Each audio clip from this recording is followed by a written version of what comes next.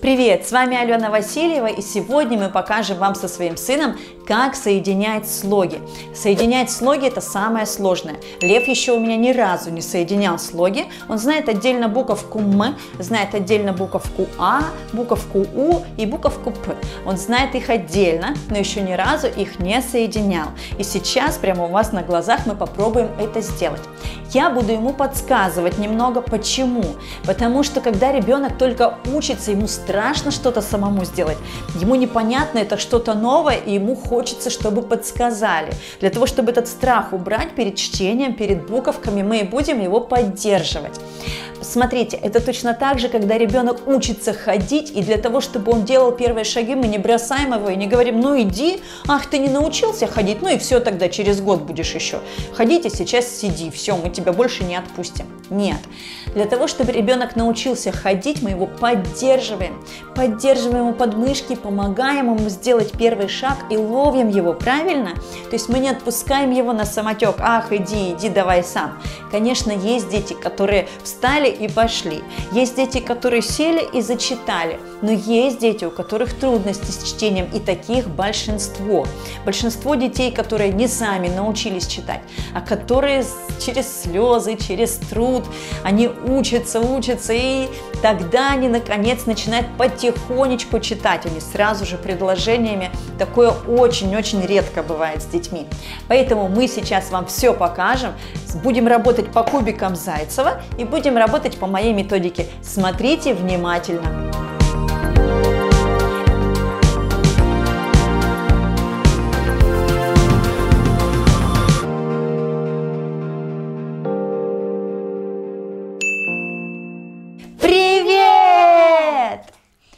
Меня зовут Алена Васильева.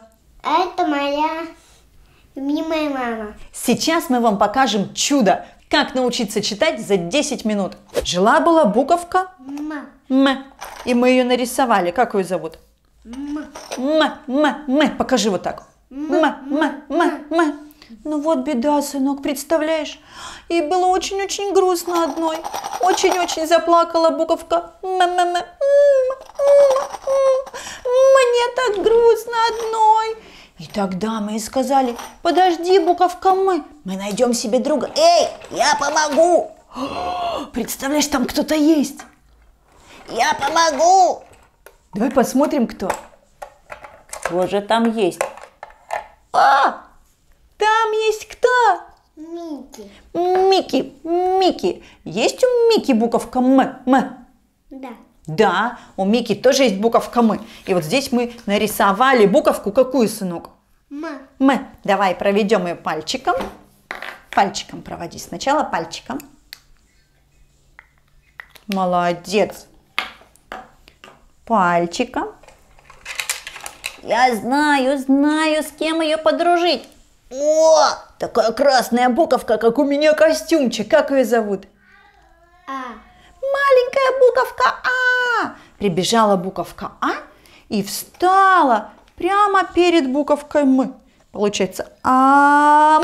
Столкнулись. Давай вместе. Ам. Молодец, еще раз. Ам. Ам. Вот она какая буковка А, да?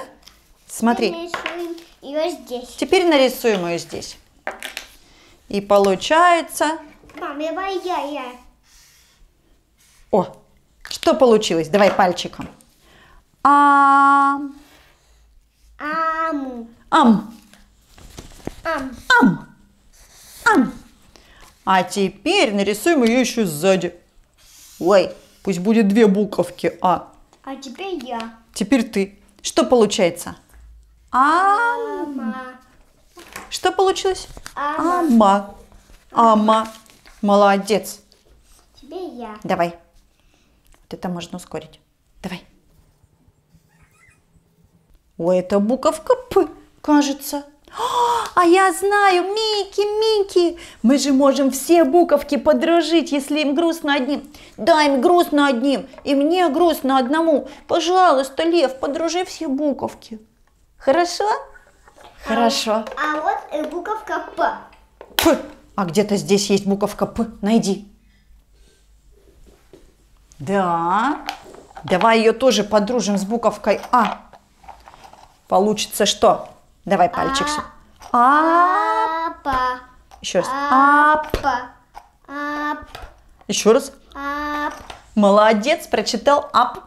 А теперь смотри вот так. Какая буковка? Умница. Давай. Упа. А где па-то? Это не па, это п. Что получается? Еще раз, давай. Уп. Еще раз. Уп. Молодец. А теперь вот так. Если букву У подружим с буковкой М. Ум. Ум. Молодец. Еще раз. Ума. Ум. Нет, еще раз. Не ума. Это не ма, сынок. Это М. Получается ум. Ума. Вот так мы соединяем первые слоги. Давай нарисуем. Микки, у тебя был какой-то подарочек за то, что лев соединяет слоги? Ты научился соединять слоги? Да, давай. Вот тут мы читали как. А, ма, Ама. ама, Па. ама. Мап. Амап. Правильно, еще ты букву П дописал. Молодец. Ну-ка, Микки, какой там у тебя подарочек? Там, правда, что-то есть? Давай. Опа! Это что? Что это? Маленькая. Конфетка. Это. Итак, мы со Львом показали вам первые шаги, как мы начали соединять слоги.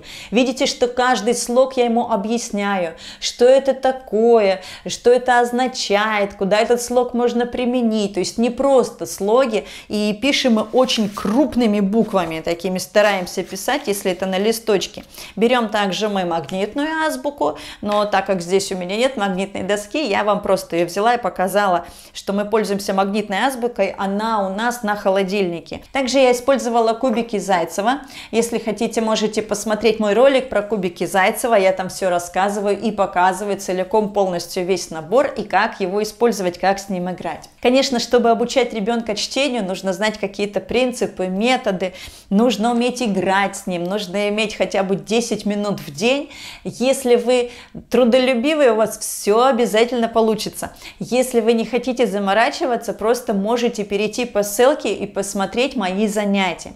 Э, Здесь я рассказ... там я рассказываю про школу, и там можете все посмотреть. У меня есть школа, там, где я обучаю на видео детей читать, учу их буковкам. Все это в игровой форме. Везде приходят мультипликационные герои, там мы с ними играем, и через игру мы учимся читать. Переходите по ссылочке, я оставлю ее внизу. Но если вы хотите сами обучаться, то вперед, давайте запаситесь терпением и знайте, что ваш ребенок обязательно научится. Терпение и труд все перетрут. Нужно только э, вам магнитную азбуку, можно кубики Зайцева, э, либо просто листы белой бумаги, фломастеры. И не забывайте поощрять ребенка за его труд. И помните, что учим мы его шаг за шагом, то есть степ-бай-степ. Учим ребенка для того, чтобы он аккуратненько это все. И лучше начинать, как я уже показывала, с таких открытых слогов. То есть с гласной ам он прочитал и ап он прочитал без труда. Когда я начала соединять это уже вот так, у него уже появились небольшие трудности. Поэтому начинайте вот с таких слогов, потом уже переходим к другим слогам. Вот к таким слогам. Хорошо? Обычно это детям легче всего дается, если вы начинаете с открытого слога. Ам, ум, ом. Вот так и начинайте. Успехов вам и терпения. Любите своих детей. Пока-пока.